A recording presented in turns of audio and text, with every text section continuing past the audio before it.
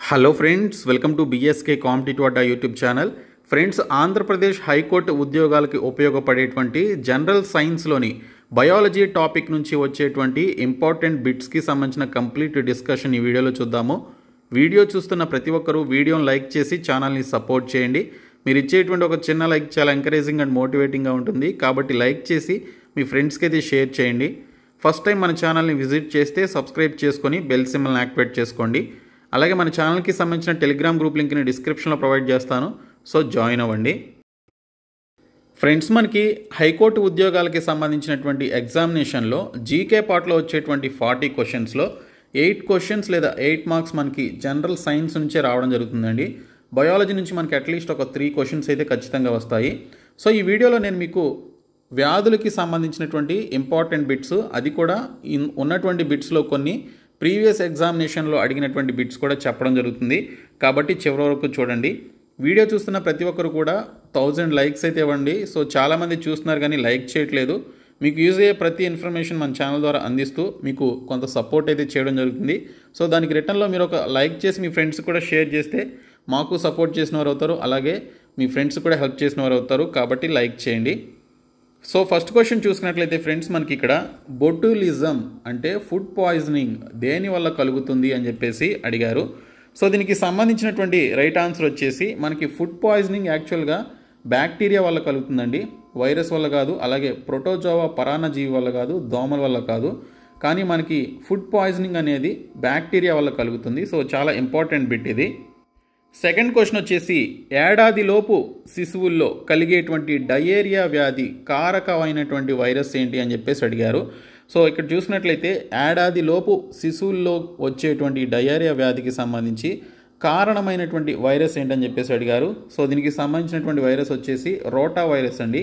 ఈ రోటా వైరస్ ఏడాది లోపు ఉండేటువంటి శిశువులు ఎవరైతే ఉంటారో పిల్లలు సో వన్ ఇయర్ లోపు ఉన్నటువంటి పిల్లల్లో సో మనకి డయేరియా వ్యాధి రావడానికి ఈ వైరస్ ఈ రోటా వైరస్ అనేది కారణమవుతుంది. అందువల్ల వారికి ఏడాదిలోపు పిల్లలకి డైరి డయేరియా అంటే మోషన్స్ అనమాట సో ఈ మోషన్స్ అనేవి పట్టుకుంటే వాళ్ళకి సో గుర్తుపెట్టుకోండి రోటా వైరస్ వల్ల ఏడాదిలోపు వయసు ఉన్నటువంటి శిశువుల్లో వచ్చేటువంటి డయేరియాకి కారణమైనటువంటి వైరస్ రోటా వైరస్ అనమాట ఇంకా థర్డ్ క్వశ్చన్ వచ్చేసి మీకు అందరికీ తెలిసినటువంటి క్వశ్చనే హెచ్ఐవి వ్యాధిగ్రస్తులు అధికంగా ఉన్నటువంటి దేశం ఏది? అని చెప్పేసి అడిగారు. సో దీనికి సంబంధించి ఇచ్చినటువంటి ఆప్షన్స్లో మనకి ఫస్ట్ పొజిషన్లో దక్షిణాఫ్రికా ఉంటుంది సెకండ్ పొజిషన్లో ఇండియా ఉంటుంది.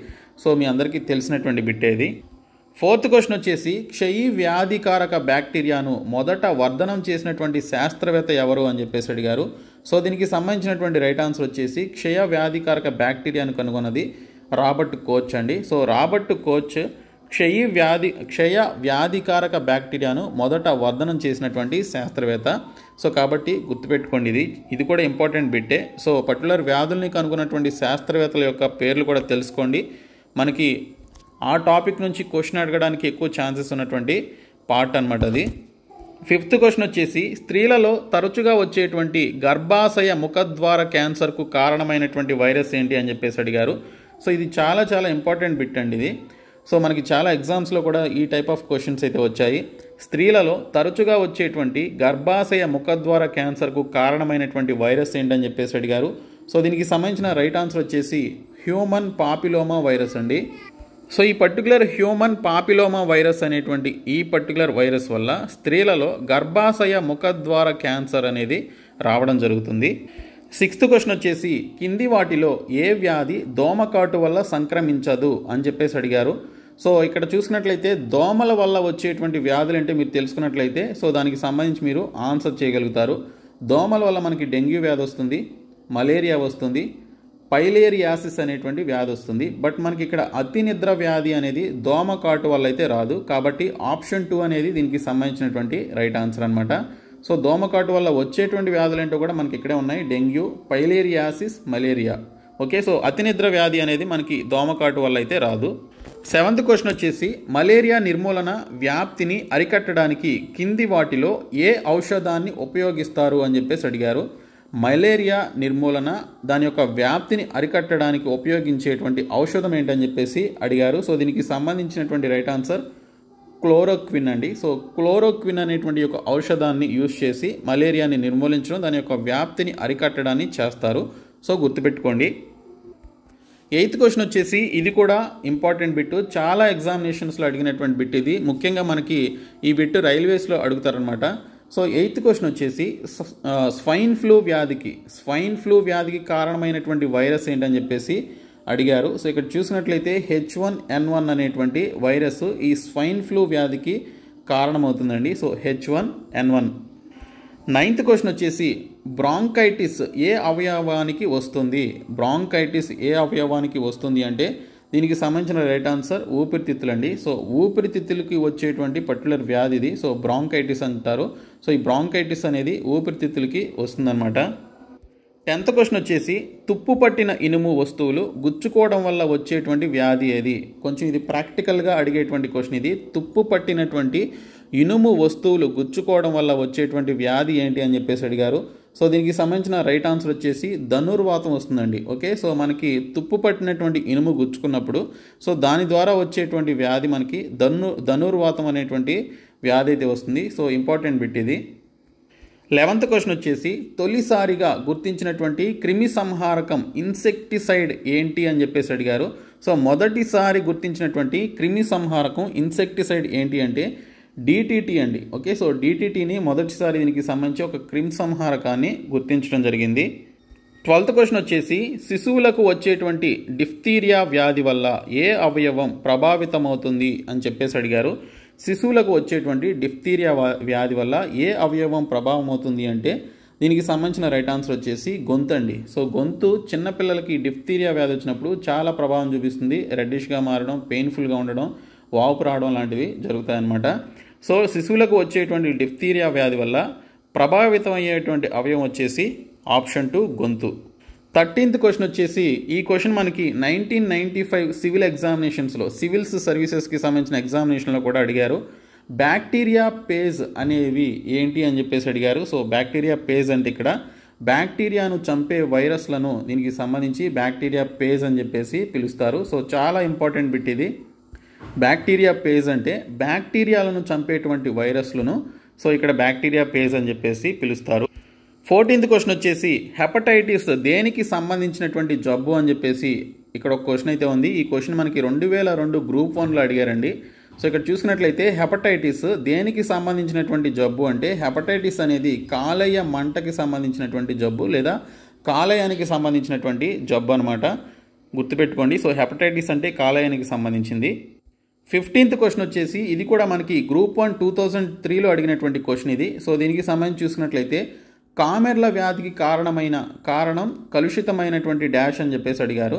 సో కామెర్ల వ్యాధికి సో ఏది కలుషితమైతే కామెర్ల వ్యాధి వస్తుంది అని చెప్పేసి ఇక్కడ మనల్ని అడగడం జరిగింది. సో దీనికి సంబంధించిన రైట్ ఆన్సర్ వచ్చేసి నీరు ఆహారంతో పాటు రక్తం అనమాట okay so option one option two so option four right ఆన్సర్గా చెప్పుకోవచ్చు. అవేంటంటే నీరు ఆహారం రక్తం మనకి ఇక్కడ కలుషితం అవడం వల్ల కామెర్ల వ్యాధి అనేది మనకి రావడం జరుగుతుంది. సో గ్రూప్ వన్లో అడిగినటువంటి క్వశ్చన్ ఇది. అది కూడా టూ థౌజండ్ త్రీలో. సో ఇలాగ సింగిల్ స్టేట్మెంట్ లాగా ఆ రోజుల్లో అడిగేవారు. ఇంకా మరొక ఇంపార్టెంట్ బిట్ వచ్చేసి గ్రూప్ టూ టూ థౌజండ్ త్రీలో అడిగినటువంటి బిట్ ఇది. వైరస్ అనేది ఒక డాష్ అని చెప్పేసి ఇచ్చారు. సో వైరస్ అంటే ఏంటి? ఓకే సో ప్రోటీన్ అనుకుంటారు చాలామంది కానీ ఇది ఒక న్యూక్లియో ప్రోటీన్ అండి. సో దీనికి సంబంధించినటువంటి రైట్ ఆన్సర్ వచ్చేసి న్యూక్లియో ప్రోటీన్ వైరస్ అంటే న్యూక్లియో ప్రోటీన్ అని చెప్పేసి అర్థం అనమాట సెవెంటీన్త్ క్వశ్చన్ వచ్చేసి ఏ ప్రాణిలో కేవలం ఒక కేంద్ర కామ్లం డిఎన్ఏ లేదా ఆర్ఎన్ఏ మాత్రమే ఉంటుంది అని చెప్పేసి అడిగారు? ఏ ప్రాణిలో కేవలం కేంద్ర కామ్లం అయినటువంటి డిఎన్ఏ కానీ లేదా ఆర్ఎన్ఏ మాత్రమే ఉంటుందని సివిల్స్ నైన్టీన్ నైన్టీ నైన్లో అడిగినటువంటి క్వశ్చన్ ఇది. సో దీనికి సంబంధించినటువంటి రైట్ ఆన్సర్ వచ్చేసి మనకి ఆప్షన్ త్రీ అండి. ఇక్కడ మనకి అమీబా బ్యాక్టీరియా వైరస్ అండ్ మొక్క కణం అని చెప్పేసి ఇచ్చారు. సో దీనికి సంబంధించిన రైట్ ఆన్సర్ వైరస్ అనమాట సో వైరస్ చూసుకున్నట్లయితే ఈ వైరస్ అనేటువంటి యొక్క ప్రాణిలో కేంద్ర కామలం డిఎన్ఏ లేదా ఆర్ఎన్ఏ మాత్రమే ఉంటాయి. ఎయిటీన్త్ క్వశ్చన్ వచ్చేసి వైరస్ ప్రభావానికి గురైనటువంటి శరీర కణాలు తయారు చేసేటువంటి ప్రోటీన్ ఏది అని చెప్పేసి అడిగారు. వైరస్ ప్రభావానికి గురైనటువంటి శరీర కణాలు తయారు చేసేటువంటి ప్రోటీన్ ఏది అని చెప్పేసి వాటర్ వర్క్స్ మేనేజర్ అనేటువంటి ఎగ్జామినేషన్కి సంబంధించి టూ థౌజండ్ ఎయిట్ ఎగ్జామినేషన్లో అడిగినటువంటి ప్రశ్న.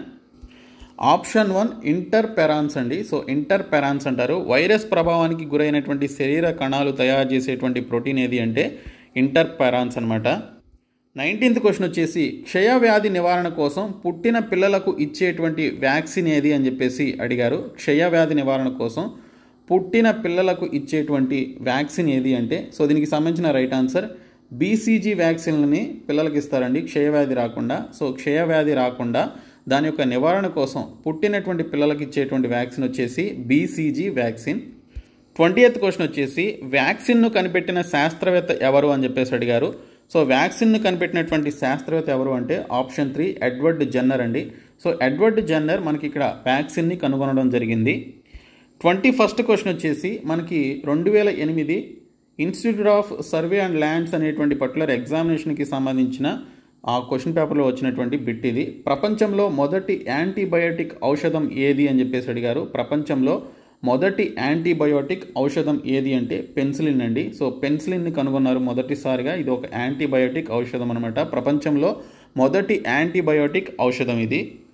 ట్వంటీ సెకండ్ క్వశ్చన్ వచ్చేసి సూక్ష్మ జీవనాశిని పెన్సిలిన్ను దేని నుంచి సంగ్రహిస్తారు? సూక్ష్మ జీవనాశిని అంటే యాంటీబయాటిక్ అనేటువంటి యొక్క పెన్సిలిన్ను దేని నుంచి సంగ్రహిస్తారు అని చెప్పేసి అడిగారు. సో దీనికి సంబంధించినటువంటి రైట్ ఆన్సర్ వచ్చేసి ఆప్షన్ టూ అండి ఫంగస్ నుంచి తీసుకోవడం జరుగుతుంది. సో ఫంగస్ నుంచి దీన్ని సంగ్రహించడం జరుగుతుంది.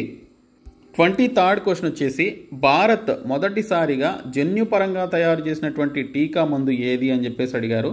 భారత్ మొదటిసారిగా జన్యుపరంగా తయారు చేసినటువంటి టీకా మందు ఏది అని గ్రూప్ వన్ రెండు వేల పదిలో అడిగినటువంటి క్వశ్చన్ అనమాట ఇది. సో దీనికి సంబంధించిన రైట్ ఆన్సర్ వచ్చేసి హెచ్బీవీ అండి. సో హెచ్బివి అనేటువంటి ఈ పర్టికులర్ టీకా మందును భారత్ మొదటిసారిగా జన్యుపరంగా తయారు చేయడం జరిగింది. ట్వంటీ ఫోర్త్ క్వశ్చన్ వచ్చేసి మానవుడి జీర్ణాశయంలో ఉత్పత్తి అయ్యేటువంటి ఆమ్లం ఏంటి? ఓకే మనకి జీర్ణ వ్యవస్థ ఉంది జీర్ణాశయం ఉంది కదా. సో మనం ఫుడ్ తిన్నప్పుడు మన జీర్ణాశయంలో ఏ ఆమ్లం ఉండడం వల్ల అది బర్న్ అవుతుంది లేదా అది కరిగిపోతుంది అనేది కూడా ఇక్కడ మనం గ- గమనించాల్సినటువంటి విషయం. అయితే ఇక్కడ చూసినట్లయితే మానవుడి జీర్ణాశయంలో ఉత్పత్తి అయ్యేటువంటి ఆమ్లం ఏంటి అని చెప్పేసి అడిగితే దీని యొక్క రైట్ ఆన్సర్ హైడ్రోక్లోరిక్ ఆమ్లం అండి. హైడ్రోక్లోరిక్ ఆమ్లం మన యొక్క జీర్ణాశయంలో అది జనరేట్ అవుతుంది. జనరేట్ అయ్యి మనం తిన్నటువంటి ఫుడ్ని అది అరిగేలాగా చేస్తుంది అనమాట ట్వంటీ ఫిఫ్త్ క్వశ్చన్ వచ్చేసి పయేరియా వ్యాధి దేనికి సంబంధించింది అని చెప్పేసి అడిగారు. సో పయేరియా అనేది ఇక్కడ చిగుళ్ళకు సంబంధించి వచ్చేటువంటి వ్యాధి అండి చిగుళ్ళకు సంబంధించి వచ్చేటువంటి వ్యాధిని పయేరియా వ్యాధి అని చెప్పేసి అంటారు. సో ఇందులో మనకి టోటల్ ట్వంటీ ఫైవ్ క్వశ్చన్స్ అయితే డిస్కస్ చేయడం జరిగింది. సో ఇవన్నీ కూడా ఇంపార్టెంట్ బిట్స్ అండ్ ప్రీవియస్ ఎగ్జామినేషన్స్లో వచ్చినటువంటి బిట్స్ని మీకోసం కలెక్ట్ చేశాను. సో వీడియోని ఖచ్చితంగా షేర్ చేసే ముందు లైక్ చేసి మీ ఫ్రెండ్స్కి షేర్ చేయండి. అలాగే సబ్స్క్రైబ్ చేసుకోకపోతే సబ్స్క్రైబ్ చేసుకోండి. Thank you so much guys